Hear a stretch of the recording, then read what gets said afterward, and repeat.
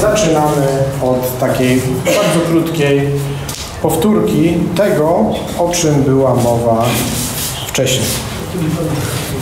W ramach e, pierwszej edycji zobaczyliśmy sobie, mówiliśmy o powstaniu świata. I zawsze był ten wątek z jednej strony biblijny, z drugiej strony naukowy, a trzeci, mówiąc mądrze, komparatystyczny, tak? czyli próba e, zobaczenia, jakie są relacje pomiędzy tą prawdą e, wynikającą ze Słowa Bożego, a tym, co współczesne nauki nam mówią na dany temat.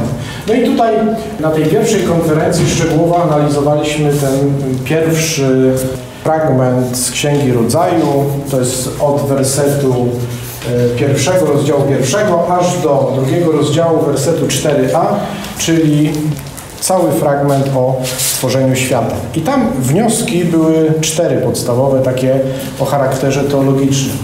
Przede wszystkim, że Bóg jest stwórcą, tak? wszechmocnym który sam stwarza wszystko z niczego. Drugi to to, że człowiek jest najdoskonalszym ze wszystkich stworzeń. Ma on w sobie coś z Boga. Późniejsi teologowie i filozofowie wykoncypowali, że tu chodzi o ten obraz i podobieństwo e, można interpretować jako rozum i wolną wolę. A to już jest późniejsza interpretacja. Bóg stwarza tylko dobre rzeczy.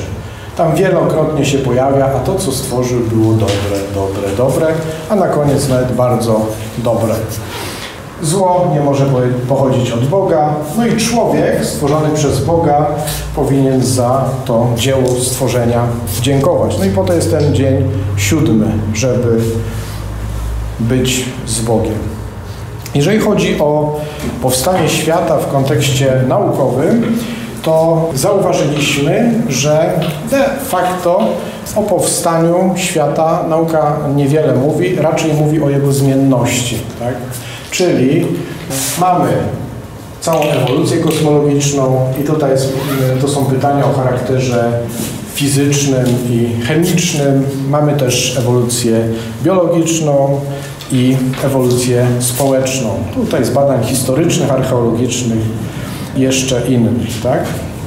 Czyli nauki przedstawiają nam świat nie stały, tylko cały czas świat, który się zmienia.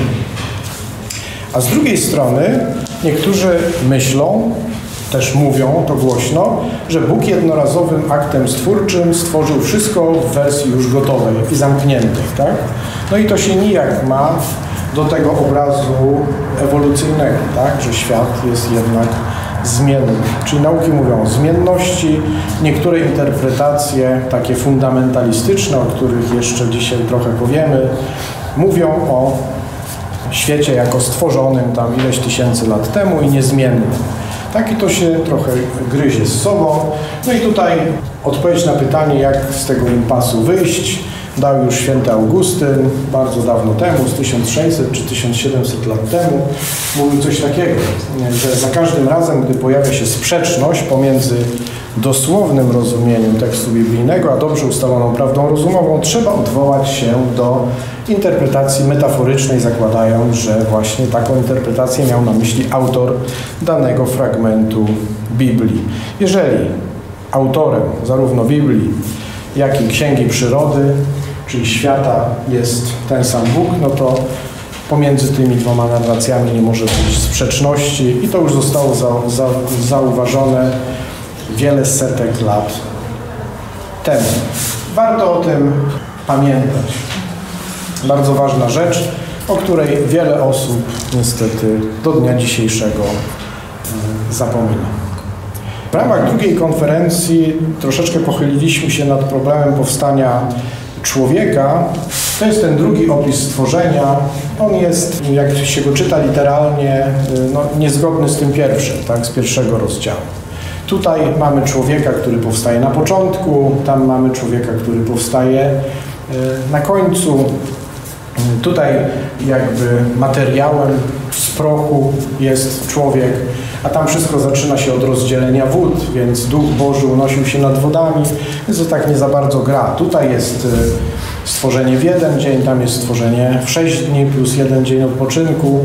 Więc to też nam od razu sugeruje, że takie literalne odczytywanie tych fragmentów nie jest sensowne. Ale co najważniejsze, to jest takie przesłanie teologiczne, tak? czyli co Bóg chce poprzez te fragmenty słowa swojego powiedzieć. No i ta pierwsza rzecz, którą sobie wtedy wyciągnęliśmy z tego fragmentu biblijnego jest taka, że człowiek otrzymał życie jako dar. I jest to dar pochodzący od Boga i Bóg obdarowuje hojnie człowieka, czyli przyroda i nieożywiona i ożywiona są do jego dyspozycji. Do tego Bóg chce być w przyjaźni z człowiekiem. No i po to jest ten raj w ziemi Eden. Czyli nie Eden jest rajem, tylko tam jest taki ogród w jakiejś tam ziemi bliżej nieokreślonej. Ale tak naprawdę bardziej chodzi o nie o miejsce, tylko o poziom relacji, y, zażyłości między Bogiem i człowiekiem. No i czwarta rzecz, że Bóg nie chce, aby człowiek doświadczał samotności. I tu jest ten isz, isza, czy men, y, woman, tak? Są bardzo podobne. To mówi o równej godności, o jedności, tak?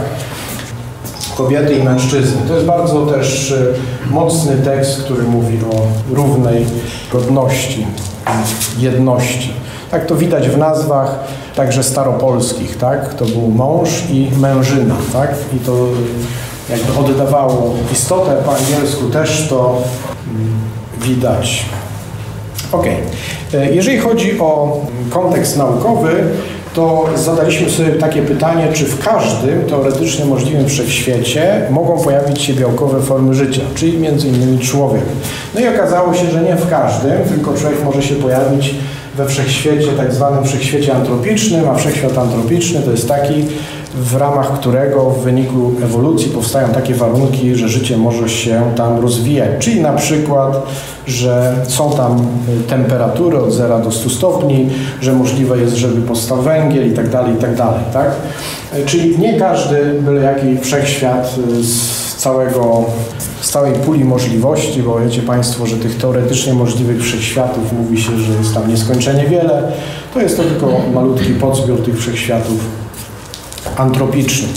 Czyli jeżeli chodzi o kontekst kosmologiczny, to on jest ważny, tak? bo nie w każdym wszechświecie życie może się pojawić i ewoluować. Też mówiliśmy trochę o biologii.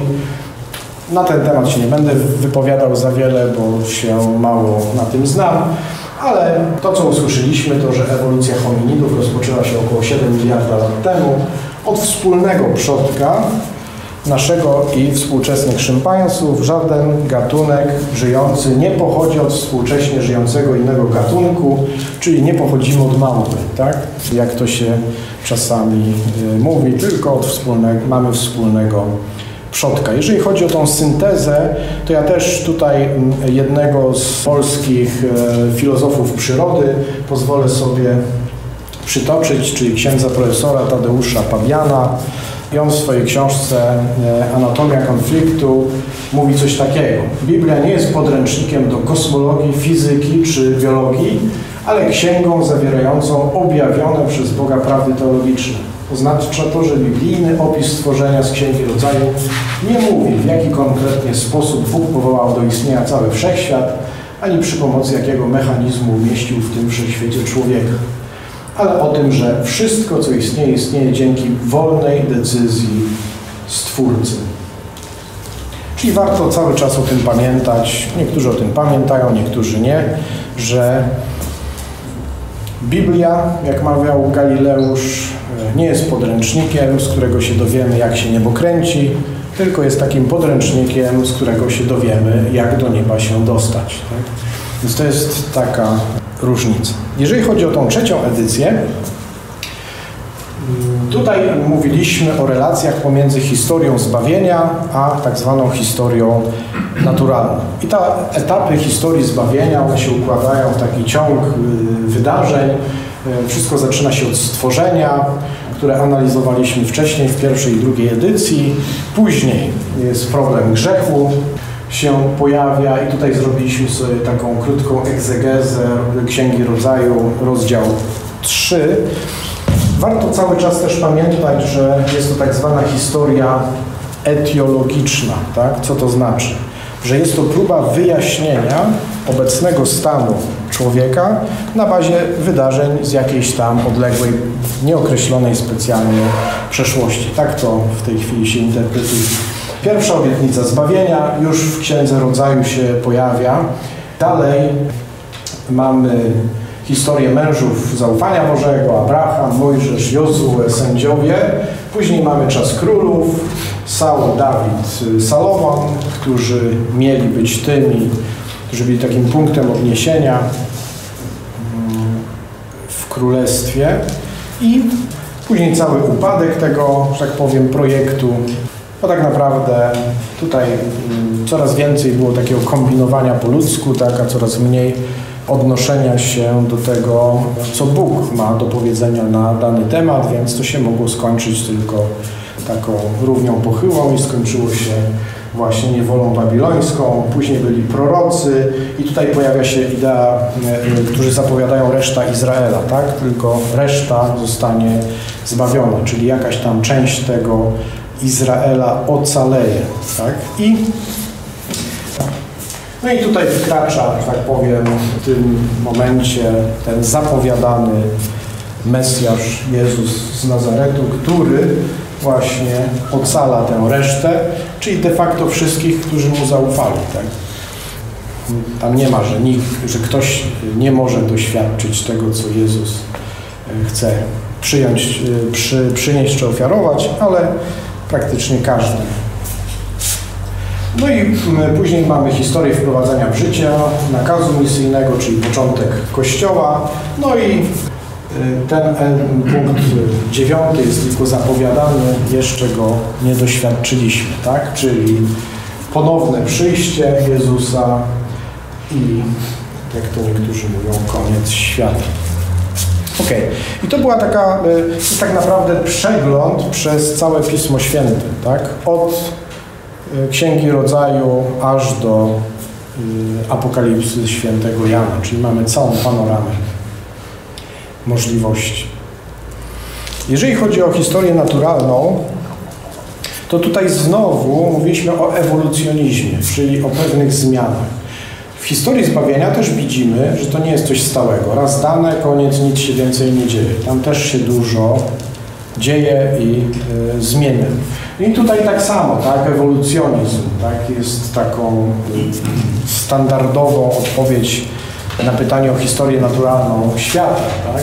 pogląd naukowy, który mówi o ciągłej zmienności świata fizycznego, chemicznego, biologicznego, kulturowego, społecznego itd., tak co potwierdzają kosmologiczna historia wszechświata, biologiczna historia życia na, na Ziemi, to wszystko, co z tej Ziemi mądrzy ludzie swoimi łopatkami i pędzelkami podkopywali i zobaczyli, że kiedyś było inaczej, a nie tak samo jak teraz, czyli coś się zmienia. No i to jest to, o czym już wspominałem, tak? że ta biblijna historia zbawienia, zwłaszcza to, co zostało zapoczątkowane i opisane w pierwszych 11 rozdziałach Księgi Rodzaju, to taka historia etiologiczna, tak? czyli próba wyjaśnienia obecnego stanu człowieka na bazie wydarzeń z bliżej nieokreślonej przeszłości. I to jest y, istotna rzecz. To jest takie główne przesłanie tej konstytucji Dei Verbum Soboru Watykańskiego II, y, która mówi mniej więcej coś takiego, że Pismo Święte przekazuje prawdy dotyczące naszego zbawienia, czyli historię zbawienia, a nie prawdy nauk przyrodniczych, czyli historii naturalnej. Tak? Czyli jeżeli ktoś próbuje odczytywać w Biblii, czy szukać jakichś wskazówek dotyczących nauk ścisłych czy empirycznych, no to jest w wielorakim błędzie, tak? Także nie idzie po linii nauczania Soboru Watykańskiego II, tak? I takim najsensowniejszym pogodzeniem tych dwóch tradycji, czyli z jednej strony ewolucjonistycznych, drugiej kreacjonistycznych. Jest ewolucjonizm teistyczny czy kreacjonizm ewolucyjny. Na jedno wychodzi dwie nazwy tego samego stanowiska, które mówią, że życie powstało i rozwinęło się na drodze ewolucyjnej. a ewolucja jest Bożym sposobem stwarzania. Bóg mógł stworzyć świat tak, jak zechciał, więc posłużył, mógł się posłużyć różnymi mechanizmami zawartymi w prawach naukowych, które sam zresztą stworzył. Tak? Więc jeżeli by chciał je łamać, to byłby takim dziwnym Bogiem. Tak? Raz stwarza prawa, a później sam je łamie, y, więc to takie byłoby dziwaczne. Się mówi o Bogu raczej, że jest konsekwentny, tak? czyli że jak raz coś postanowi, to tak jest. Ok. I teraz mamy tą czwartą edycję i od razu sobie płynnie przejdziemy do czwartej edycji, y, czyli teraz sobie spróbujemy powiedzieć o biblijnym potopie. To jest oczywiście, jak wszyscy wiedzą, opisane w Księdze Rodzaju, w rozdziale od 6 do 9. Później sobie spojrzymy takiej szybkiej perspektywie na zjawisko potopu, takiego globalnego z perspektywy nauki, czy to jest w ogóle e, możliwe i czy coś takiego miało miejsce, czy faktycznie było jak tutaj ci kreacjoniści fundamentalistyczni rekonstruują, budując różnego typu arki, żeby pokazać, że tam mogło się zmieścić trochę zwierząt, ale gdybyśmy tam siedem par słoni wrzucili, to już by nam dużo miejsca zajęło, ale o tym za chwilkę. No i później e, troszeczkę o sporze kreacjonizm-ewolucjonizm na przykładzie biblijnego potopu, bo on jest bardzo ważny dla kreacjonistów fundamentalistycznych i kreacjonistów naukowych, bo przy jego pomocy mogą coś wyjaśnić. Tak? Na przykład to, że w różnych warstwach Ziemi odnajdujemy różne skamieniałości, coś takiego, różne zwierzęta. Jeżeli Bóg stworzył wszystkie naraz, to one powinny być w jednej warstwie, tak? A nie, że jedne są niżej, drugie wyżej i tak dalej i oni twierdzą, że był potop i to wszystko poprzewracał tak, że się tak po prostu ładnie ułożyło. Że można z tego nawet ewolucjonizm potwierdzić. Ok. Dobrze. Czyli przechodzimy od razu płynnie do biblijnego potopu.